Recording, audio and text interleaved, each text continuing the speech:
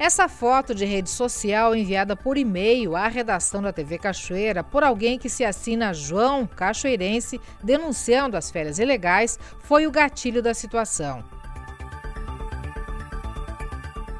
Outros veículos também receberam a mensagem e, ao tomar conhecimento, o prefeito Sérgio Gnatti desligou Tarascone do cargo em comissão que ele exercia na prefeitura.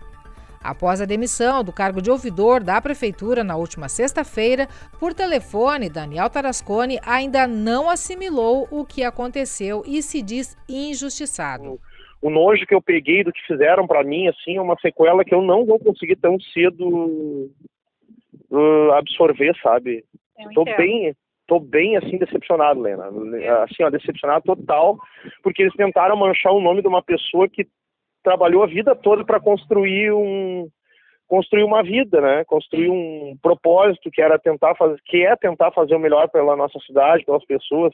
Eu só não, eu só não vou te dar um nome, né? Pessoa que fez isso para mim, porque fizeram a mesma coisa para Daniela. Né? Uh, então, assim, é pessoas que enxergam que tu tem um potencial político e tu se destaca dentro de um governo. Aquele que almeja uma coisa maior, ele quer tentar te derrubar.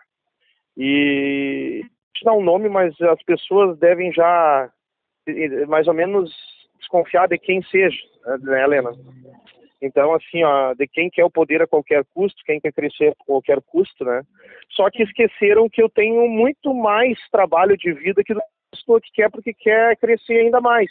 A minha proposta, que seria que eu solicitei ao secretário e ao diretor que eu entraria um pouco antes de férias, que eu, eu fui admitido no dia 9. Aham. Só que o dia 2 eu solicitei para antecipar, tentar antecipar esse, essa semaninha, três dias só para mim, nem que fosse, Sim. porque eu voltaria antes para o trabalho.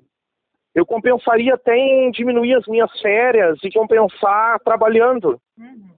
Entendeu? Mas foi um acordo uh, verbal que tu fez com eles? É, um acordo verbal, Lena. Então nós conversamos entre cinco secretários, né? E inclusive até a versão que o Isaías deu, que orientou, que me orientou, não, essa versão não foi, não foi dada, não. Essa versão, o que foi certo era que nós estávamos em comum acordo que eu tentar, que eu precisaria prorrogar por uma questão familiar. Isso era uma questão familiar, de saúde familiar. Eu acho que se, se houve um equívoco, houve um equívoco das ambas as partes. Se é para então para julgar, que seja julgado as duas partes e não sim simplesmente penalizar uma pessoa só e a corda estourar do lado mais fraco, né?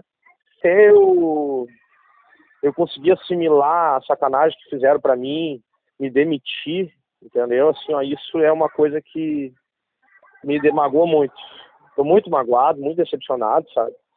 Os comentários das pessoas agressivas no Face, assim, se entrar na página do Jornal do Povo, vão ver como as pessoas não, elas não deram nenhum pingo de valor pelo meu histórico, o meu trabalho, minha responsabilidade, minha dedicação aos finais de semana, feriados, uh, trabalhando voluntariamente sem ganhar um tostão por cachoeira, por amor à camiseta, entendeu? Por amar minha cidade, amar meus bairros, amar os lugares que eu frequento, que eu vou, que eu quero ver a, a coisa pública fazer funcionar.